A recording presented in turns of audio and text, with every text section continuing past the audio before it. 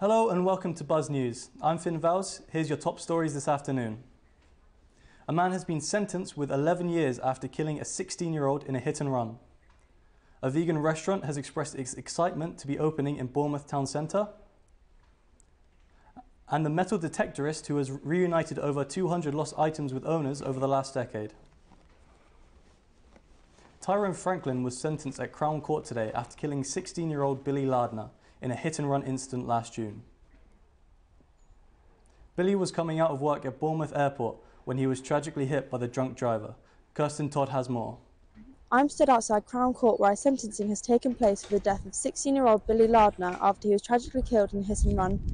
Tyrone Franklin has been charged a sentence of 11 years with 50% in custody and 10 years disqualification from driving. Franklin had consumed five alcoholic drinks before he exceeded the speed limit, hitting Billy at 80 to 85 miles per hour, resulting in his death soon after at the scene.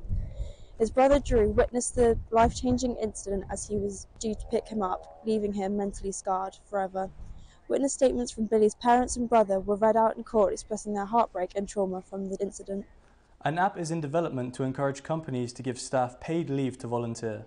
Community volunteer Daniel Parkin is developing an app that aims to bring big companies closer with the community. The app, named Community Ripple, looks to encourage giving employees one day off a year to volunteer instead. Employees would be able to choose where they volunteered and arrange the dates all from their phones. Uh, the idea is to connect businesses more with um, uh, local community and, and, charity groups, make larger businesses in particularly have a bit more of a, of a connection and support for, for the community.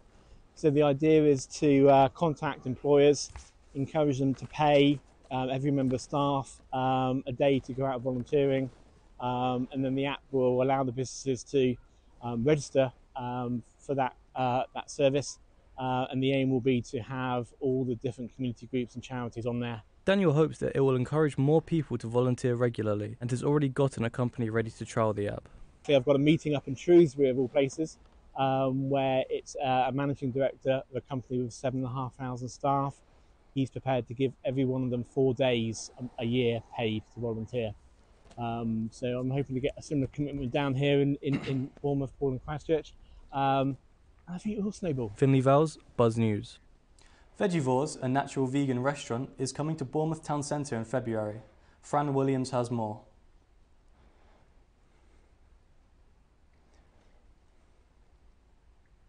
Vegivores is a vegan restaurant based in Reading, but is now taking their successes to Bournemouth. Owner Sarah Lowndes wants to show people how good vegan food can be. We're not about telling people um, what you shouldn't eat. Uh, we're, we're about telling people, you know, uh, if you're if you're interested, give it a try, uh, and we'll show you just how delicious it can be. Sarah has been overwhelmed with the response she's received since announcing her restaurant. Oh my goodness, really positive, really positive. Uh, we we really hoped that we would be well received. Uh, obviously, we're not quite open yet, but we've been completely overwhelmed with the love uh, from everyone here in Bournemouth. Uh, it's been been quite humbling actually. Veggie Vegivores is hoping to open its doors for the first time in February and looks to bring a new flavour to Bournemouth. Fran Williams, Buzz News. A metal detectorist from Bournemouth reunites lost sentimental items with owners for free. Charlotte Coles reports. Darren Wiles has been recovering lost items in the local area for the last decade. He mostly recovers lost items on the beach, with many of these items having sentimental value. Despite sometimes searching on the beach in the early hours of the morning, with some items taking up to 10 days to find, the service he offers is completely free, and Darren says he expects nothing in return. Uh, I've been detecting since 2009, and then about 10 years or so ago, I set up kind of what I thought would never be used, a free recovery service. Since then, Darren has helped 194 people by recovering 211 lost items. Ella's ring was one of these items. Her mum, Tracy, remembers how excited they were to be reunited with the ring, as they thought it had been lost forever. I think, was it the Euros were going on at that time? I think there was some sort of World Cup football going on. I think it was the Euros and it was almost like England had scored or, or won the final. We were that loud. I think the whole street heard us. We couldn't thank him enough. I tried to give him money. I tried to give him beer. I've helped out everywhere I can for him because honestly, the guy is just. He's so special. Like, he just keeps doing this and doing this and doing this, and he expects nothing in return. And it literally changes people's lives. It's not like just a small thing, is it? When you find something sentimental, it's it's huge. So, yeah, just absolutely brilliant. Honestly, he is an absolute legend. This is just one of the 211 items found, with no doubt many more to go. Charlotte Coles, Buzz News. Toby Howe is now here with the daily sports news.